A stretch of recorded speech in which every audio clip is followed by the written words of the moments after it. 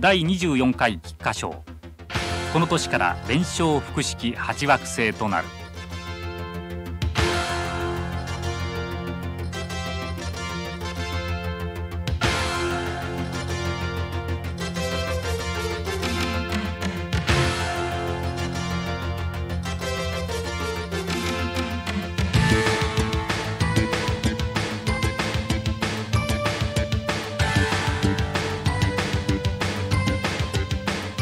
一番人気は三冠達成を目指す名髄。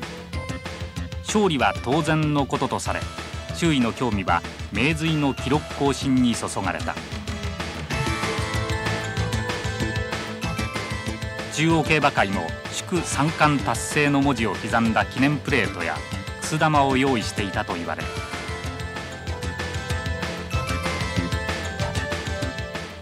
距離 3000m さあスタートでやります。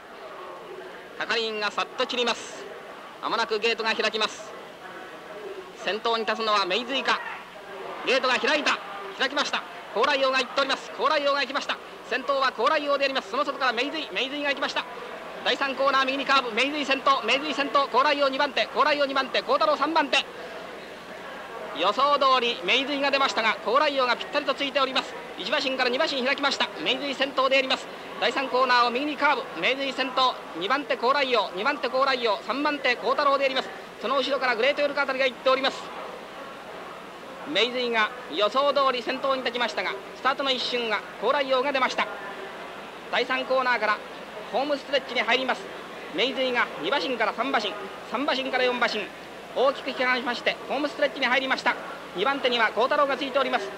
さらにその外からグレートヨルカ。グレートヨルカが高麗王と2番手を争っております。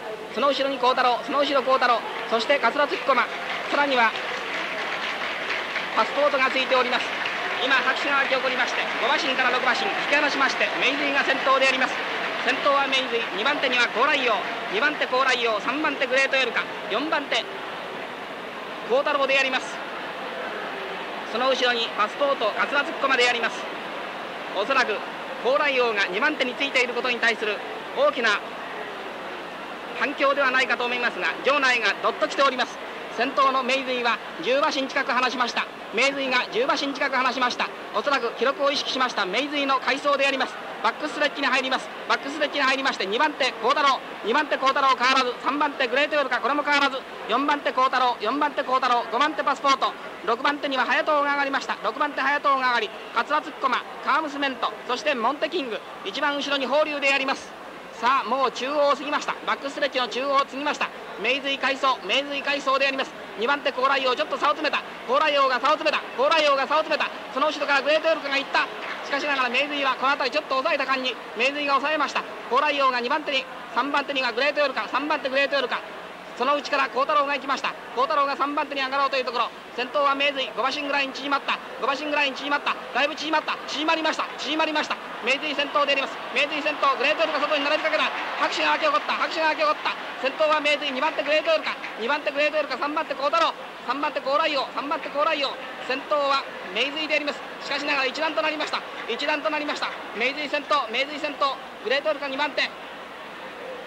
2番手グレートヨルカ3番手は高麗王。3番手高麗王。直線にかかります。まもなく直線。メイズイが先頭でありますがグレートヨルカが外から並びかけました。さあ内に入りまして高麗王。内に入りまして高麗王。メイズイが先頭。メイズイが先頭。グレートヨルカが高麗王かさあメイズイちょっと遅れたか。メイズイがグレートヨルカが高麗王か高麗王か。グレートヨルカがグレートヨルカ先頭。グレートヨルカ先頭。高麗王に待って。メイズイ遅れました。メイズイ遅れました。グレートヨルカ先頭。グレートヨルカ先頭。パスポートも追い込んだ。1着はグレートヨルカ。1着グレートヨルカ。